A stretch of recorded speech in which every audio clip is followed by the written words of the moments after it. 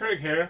I'm about to make the uh, first part on the mill, the real first uh, real part. Uh, it's going to be a quarter inch steel plate similar to the cut that I made on the mini mill in a previous video. And let's see how the Tormach, it's going to be a pretty conservative cut. Um, it's about five minutes or so. I'm sure it can go a lot faster, but this is the first one, so. Right. Okay, well I made the first part, part but the, the vibration was too much on my uh, wood floor for the camera. Um, but here's the uh, first part. Uh, I ended up having to stop it.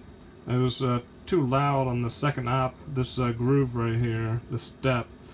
So uh, I'm going to film it again. but I'm going to have to hold the camera. I'll try to hold it steady. Um, so, alright, here goes.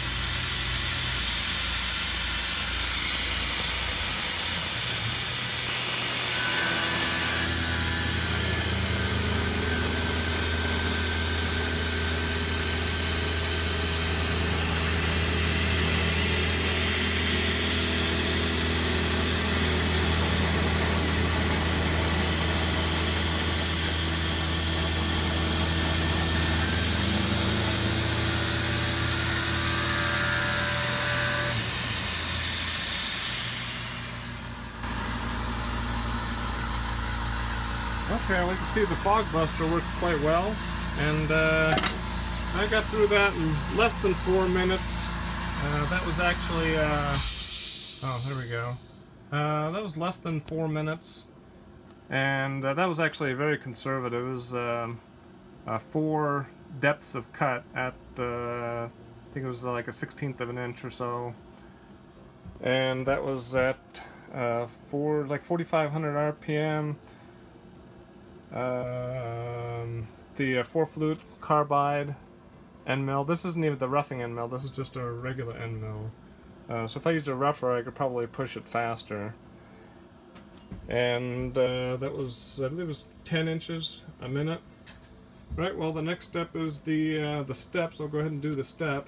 Uh, this was actually kind of quiet. There wasn't wasn't too noisy. The step seems to be uh, the the problem. The three eighths uh, step that I, I make in here, so, right. Okay, I'm all set up for the next uh, tool. I'll hit the cycle start.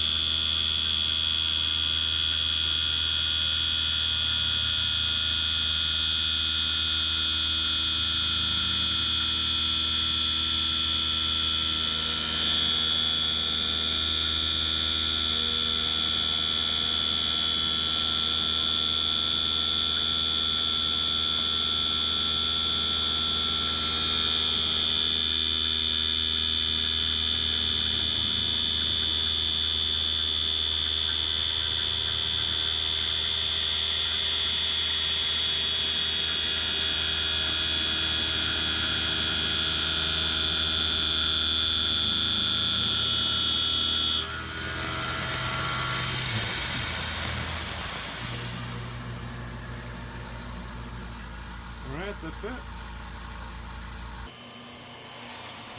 it.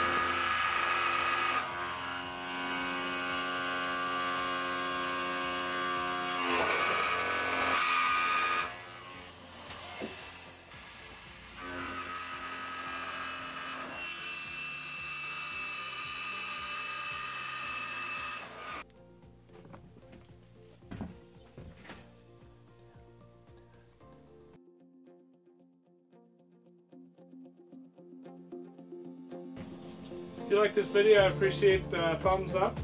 Uh, any comments, please leave them below. Uh, over here, there should be a subscribe button. If you'd like to subscribe, uh, please click there. And I usually put some uh, links to other videos that I've done in the past down below. Alright?